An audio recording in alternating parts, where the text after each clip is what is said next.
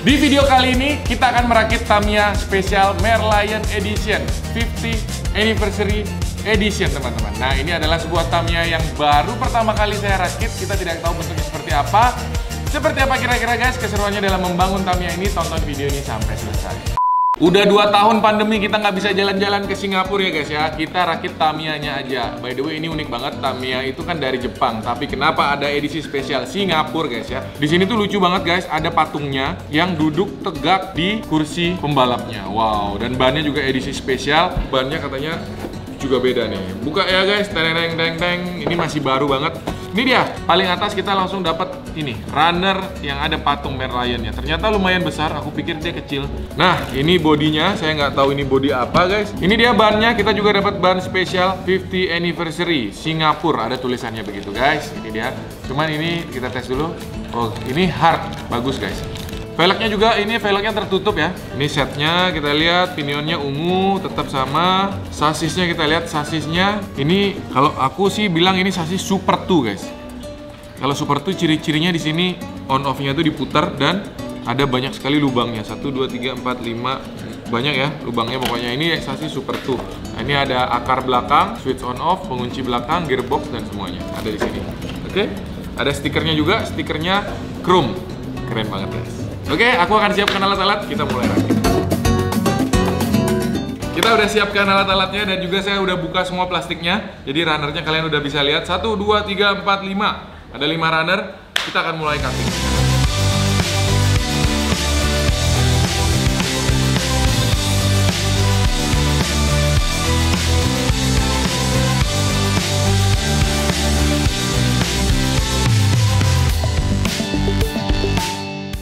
Ini lucu banget guys. Uh, pengunci baterainya kalian bisa lihat ya, beda banget bentuknya sama pengunci baterai Tamiya biasa. Ternyata seperti ini. Aku baru tahu akhirnya ya, karena kalau di Tamiya lain tuh konon katanya ada yang ditempel pakai double tip. Kalau yang ini ternyata seperti ini.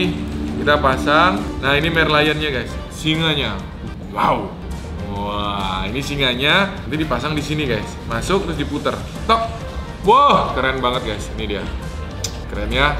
Jadi nanti dia akan duduk di kuncian baterai. Pertanyaannya adalah gimana kalau Tamiya-nya kelontang? Apakah dia akan tetap berdiri atau dia akan patah leher? Langsung aja kita mulai merakit. Mulai dari pemasangan busing, dilanjutkan dengan pemasangan roda. Velgnya aku suka banget nih guys. Velgnya itu ternyata putihnya Dove. Nih, Dove ini selain bagus dilihat dari mata, dia juga jadi nggak gampang slip rodanya tuh nggak gampang copot dari velgnya.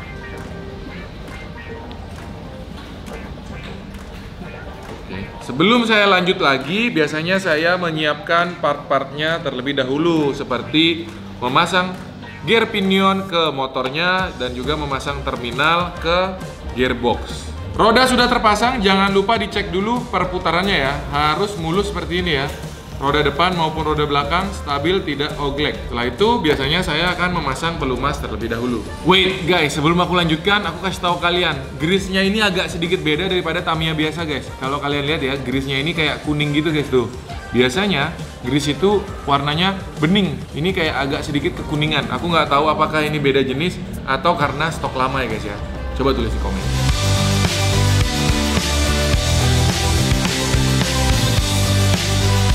Ternyata shaft coronanya itu shaft propeller 4WD-nya nggak bisa dipasang kalau kita udah terlanjur pasang motor guys. Jadi motornya aku cabut lagi.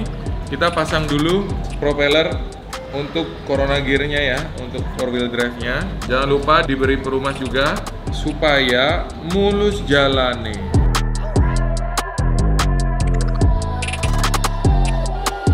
Setelah melakukan penutupan gearbox, jangan lupa dipasang bautnya agar dinamo dan gearboxnya tidak terlepas pada saat nanti mobilnya dimainkan.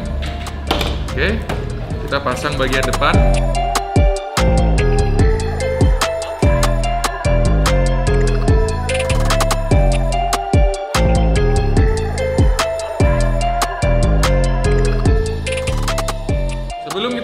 Lagi, saya akan mengetes menggunakan baterai apakah semua fungsi motor dan juga gear terpasang dengan normal. Kita tes, kita nyalakan. Wow, guys. Bunyinya kasar banget ya. Padahal semua dinamonya sudah kuberi pelumas ya. By the way, kita dapat dinamo bagus guys. Ini adalah dinamo Mabuchi, bukan dinamo SMC ya. Saya akan beri sedikit pelumas dulu di sini.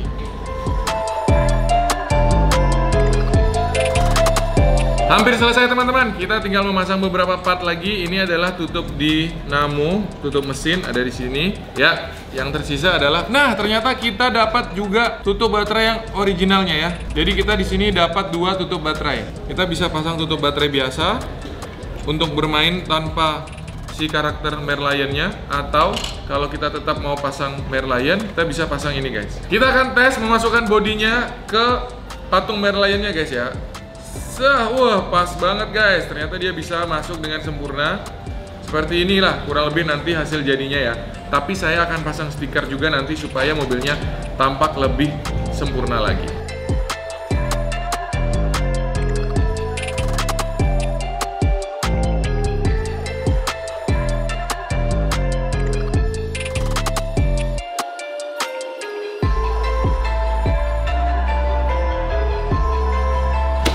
Guys, melelahkan juga pemasangan stikernya dan nggak bisa rapi 100% ya. Memang kalau untuk memasang stiker itu butuh waktu yang tenang gitu ya.